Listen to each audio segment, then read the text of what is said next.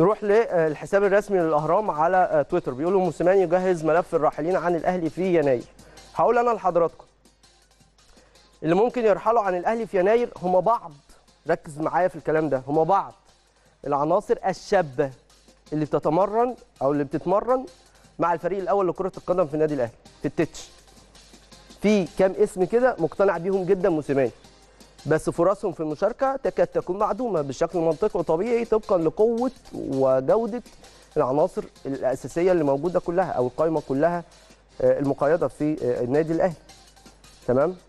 فبالتالي هيبقى إيه الحل؟ الحل إن الناس دي تطلع إعارات ويستفيدوا وياخدوا خبرات ويرجعوا لنا على بداية الموسم اللي جاي أو بداية الموسم اللي بعده نشوف الدنيا تبقى إيه.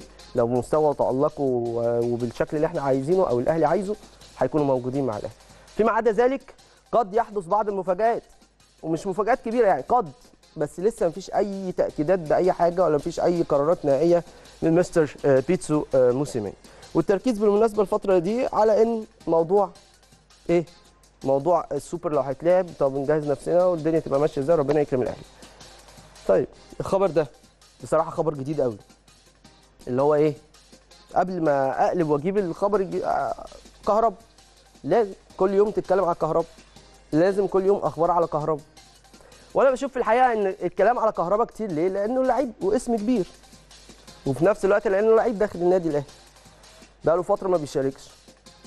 فبعذر الناس في الحقيقة اللي بيتكلموا على كهربا وهنا بيقول لك حقيقة رحيل كهربا على الأهلي في الميركاتو الشتوي. أنا بقول لحضراتكم حتى هذه اللحظة لغاية النهارده أهو اللي هو 4 ديسمبر 2021 كهربا مكمل مع النادي الأهلي لغاية النهارده. لغاية النهارده. كهربا مكمل مع النادي الأهلي. كهربا موجود مع الأهلي. ممكن بعض الجوانب الفنية اللي عايز يركز موسيماني معاه عليها في التدريبات فمستني إنه يجدها بالشكل الأمثل فيدفع بيه في قائمة النادي الأهلي ومن ثم المشاركة في المباريات. وهي وجهات نظر فنية ومدير فني حر في كل اختياراته. لكن ده ما يقللش اطلاقا من قيمة كهربا وده مش معناه أو ما يساويش إن كهربا ماشي من الأهلي رسمي. لا لحد دلوقتي كهربا موجود مع النادي الأهلي ولحد دلوقتي ما فيش أي قرار برحيله في يناير من قبل النادي الأهلي أو حتى من قبل اللاعب نفسه يعني. تمام؟ فده توضيح بخصوص كهربا تعالوا نخش على الخبر اللي بعده وبرده كهربا وإحنا متفرغين لمثل هذه الأخبار وبنحترم جدا اجتهاد أي صحفي يعني. وحساب مبتدع على تويتر بيقول لك عاجل وخاص وكل حاجة في الدنيا. لحظة حاسمة في مسيره كهربا مع الأهلي. هم هنا تطرقوا في متن الخبر إن يعني كهربا هيبقى عنده جلسة مع موسيماني وبناء على الجلسة دي هيتم اتخاذ القرار النهائي بخصوص استمرار كهربا أو رحيله بخصوص الدفع منه الدفع بيه في المباريات من عدمه. ف يعني قد تحدث هذه الجلسة وقد لا تحدث. ما فيش أي حاجة رسمية في الجانب ده تحديدا يعني. لكن في كل الأحوال إحنا عندنا لعيب كبير جدا اسمه كهربا مركز جدا في تدريباته مع الأهلي. آه الفترة دي أجازة لكن قبل الأجازة كان مركز بشكل كبير جدا وإن شاء الله أكيد هيكون ليه دور مع النادي الأهلي لأن إحنا عندنا بطولات كتير جدا على مدار الموسم بشكل كامل. نروح للوطن سبورت وبيتكلموا على إن الهلال السعودي يطلب ضم محمد شريف والأهلي يرد. الهلال السعودي ما بعتش عرض رسمي طبقا لمعلوماتي. الهلال السعودي ما أرسلش أي عرض رسمي لمحمد شريف. الهلال السعودي اللي عنده ماريجا اللاعب المالي المهاجم المميز جدا وعنده جوميز المهاجم الفرنسي المميز جدا. فمش ده مش تقليلا من محمد شريف طبعا لا لعيب كبير قوي مهاجم وهداف الدوري المصري يعني. آخر سنتين جايب حاجة و30 جون في الدوري. لكن أنا بقول إن هم عندهم اثنين مهاجمين جامدين قوي فمش من منطقي إن هم هيدعموا الخط ده. ممكن يدعموا مراكز أخرى.